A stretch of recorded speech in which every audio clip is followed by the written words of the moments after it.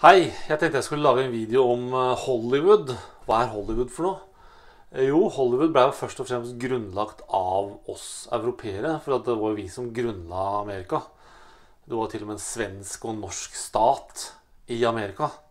Før Rom kom og la beslag på hele landet, sånn at det ble et engelsktalende land. Men uansett eh, Vi europeere grunnla Hollywood. Først så var Hollywood eh, egentlig bare De solgte eiendommer der. Og så var det et eiendomsselskap som satte opp de skiltene Hollywood Land. For før så sto det LAND etter Hollywood. Det var et eiendomsselskap som satte opp det skiltet for å markedsføre eiendommene i California.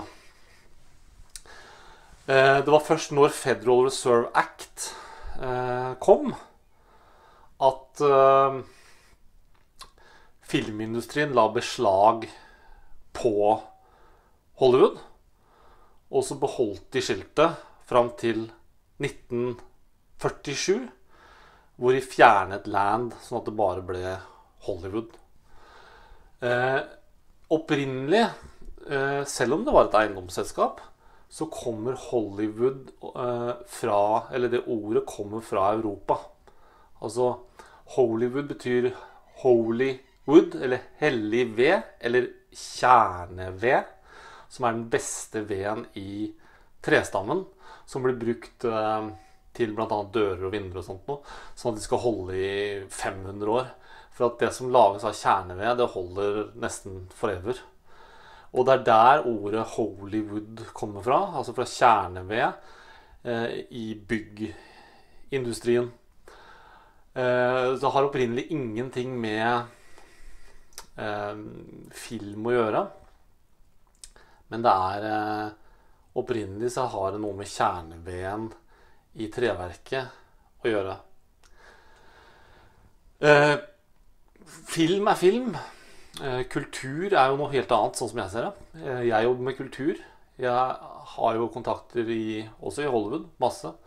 Jeg har eh, jobber med de store der borte. For der borte så er det jo Mange er jo drittlei situasjonen. Det er jo et svulstig system, og de klager til meg. 'Morten, kan ikke du være så snill å redde situasjonen?' Så de kaster sitt nettverk på meg her i Norge og tror at jeg skal liksom redde dem. Mens sant, de befinner seg midt i Babels tårn, og hele dritten ramler jo sammen nå. For hele Hollywood er jo bygd på eh, Fed Act, som bare er en eh, illusjon fra ende til annen.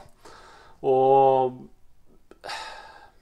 kjelleren til Babylons tårn er jo her i Tønsberg. Fordi at eh, Babylons tårn ble opprinnelig konstruert fra Norge. Uh, til og med hver eneste sommer så spiller de By the Rivers og Babylon rett på utsida av nabolaget her. Og du har Babels restaurant, og det, er, det er overalt. Men du ser det i kulturen også. Du ser det på TV, du ser det i måten vi er i forhold til hverandre, du ser det på forfallet i samfunnet osv. Det er overalt. Så Babels tårn, det starta her i eh, Tønsberg.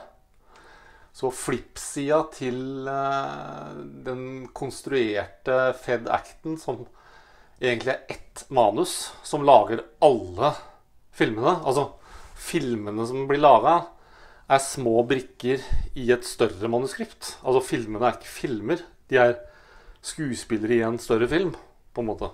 Så når Babels tårn går ned, så blir det rom for eh, kultur for første gang. Og kultur som formidler sannhet. Og der har vi flippsida på den eh, delen, og den finner du i Tønsberg.